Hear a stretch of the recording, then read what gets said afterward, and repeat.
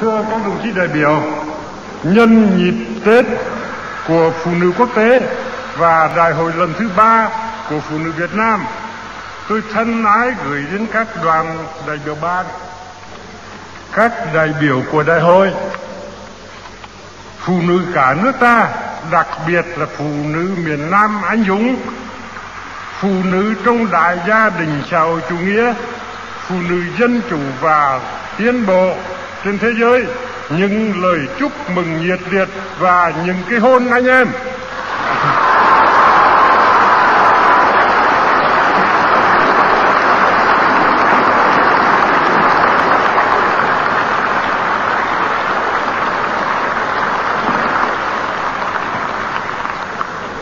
Thưa các đồng chí đại biểu, đại hội này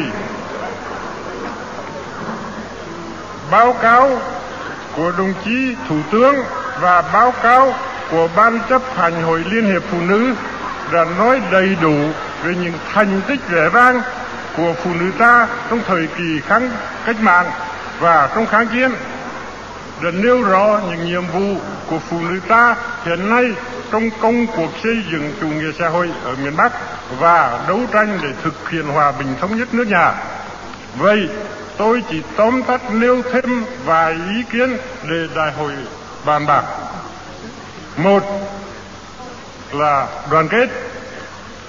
Phụ nữ ta cần phải đoàn kết chặt chẽ chị em các dân tộc, lao động chân tay và lao động trí óc. Phụ nữ miền Bắc và miền Nam cần đoàn kết với phụ nữ các nước phe ta và phụ nữ tiến bộ thế giới để đấu tranh cho mục đích chung là hòa bình thế giới và chủ nghĩa xã hội. Điểm thứ hai là trách nhiệm làm chủ. Mỗi một người và tất cả phụ nữ phải hăng hái nhận lấy cái trách nhiệm của người làm chủ đất nước, tức là phải ra sức thi đua, tăng gia sản xuất và thực hành tiết kiệm để xây dựng nước nhà xây dựng chủ nghĩa xã hội. Muốn làm tròn nhiệm vụ vẻ vang đó thì phụ nữ ta phải xóa bỏ cái tâm lý tự ti và ý lại. Phải có ý chí tự cường tự lập, phải nâng cao lên mãi trình độ chính trị, văn hóa, kỹ thuật. Chị em phụ nữ liên xô, trung quốc và các nước phe ta đều làm như vậy đây xin nêu vài thí dụ ở liên xô, phụ nữ chiếm 49% số người có trình độ văn hóa cao và 53% số người có trình độ văn hóa trung cấp. Họ đã chiếm 45% trong tổng số hội viên, tổng công hội.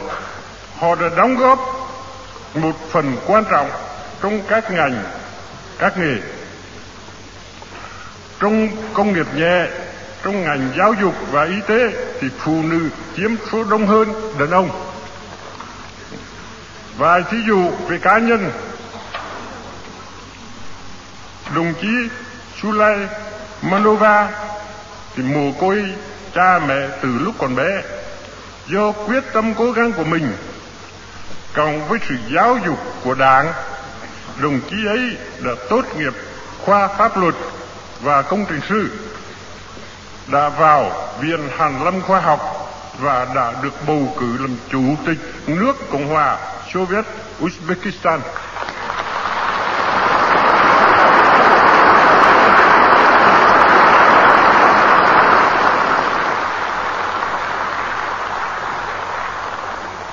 Đồng chí Gaganova là một cô thời Việt bình thường. Do thấm nhuần đạo đức cộng sản mà tự động hy sinh lương bổng cao của mình để giúp chị em những tổ lạc hậu thành những tổ tiên tiến. Tinh thần và hành động tốt đẹp của đồng chí Gaganova đã góp phần đầy mạnh phong trào thi đua lao động chủ nghĩa cộng sản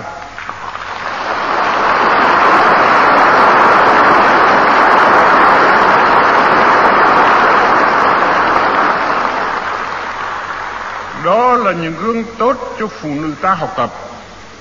Phụ nữ ta sẵn có truyền thống cần cù và anh dũng, quyết tâm học thì nhất định học được.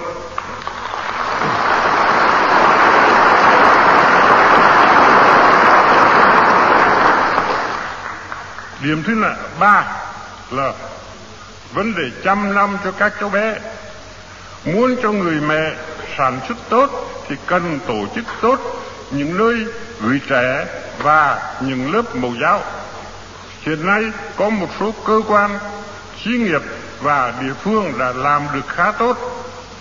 Hội phụ nữ cần phải phổ biến những kinh nghiệm đó và giúp đỡ chị em các nơi khác tổ chức cho tốt. Chúng ta phải hết sức quan tâm đến thế hệ cộng sản mai sau của chúng ta. Ngoài ra, nên cố gắng tổ chức những nhà ăn công cộng cho tốt để giải phóng phụ nữ ra khỏi bếp núc.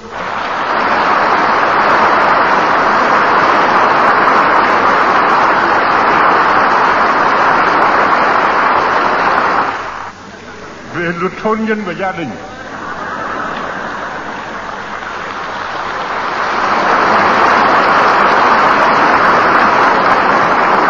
Hiện nay vẫn còn nhiều người và nhiều nơi làm trái cái luật ấy vài thí dụ về một nhiều người còn ngược đài vợ và ép uổng duyên con.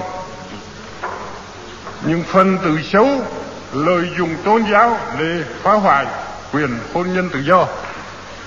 Gặp những vụ phá hoại pháp luật như vậy thì chính quyền, chi bộ và đoàn thanh niên đã đối phó thế nào? Trước hết là đoàn thầy phụ nữ đã đối phó thế nào? Vậy từ nay, đối với nhân dân thì chúng ta cần phải tuyên truyền rộng khắp và bền bỉ giáo dục. Đồng thời, đối với những ờ, kẻ phạm pháp thì phải thi hành kỷ luật một cách nghiêm khắc. Về điểm thứ năm, nói về cán bộ lãnh đạo cán bộ đã cố gắng, còn phải cố gắng hơn nữa. Phải đoàn kết nội bộ chặt chẽ hơn nữa. Chịu khó học tập hơn nữa. Đi sâu, đi sát hơn nữa trong các ngành sản xuất. Thông cảm sâu sắc hơn nữa với quần chúng và ra sức giúp đỡ chị em giải quyết những thắc mắc, những khó khăn. Cán bộ phải làm gương mẫu còn anh em cán bộ, các cấp, các ngành thì cần hết lòng giúp đỡ chị em tiến bộ về mọi mặt. Các đồng chí làm được như vậy thì phong trào phụ nữ nhất định không ngừng lên cao. Ngay từ mới thành lập, đảng ta đã nêu rõ chính sách nam nữ bình đẳng. Hiến pháp ta đã xác định chính sách đó. Trong mọi việc đảng và chính phủ ta luôn luôn quan tâm giúp đỡ phụ nữ. Vậy chị em phụ nữ ta phải nhận rõ địa vị làm người chủ và nhiệm vụ làm người chủ nước nhà. Phải có quyết tâm mới, đạo đức mới, tác phong mới để làm tròn nghĩa vụ mới của mình là góp phần xứng đáng của công cuộc xây dựng xã hội xã hội chủ nghĩa ở miền Bắc và đấu tranh thực hiện hòa bình thống nhất nước nhà.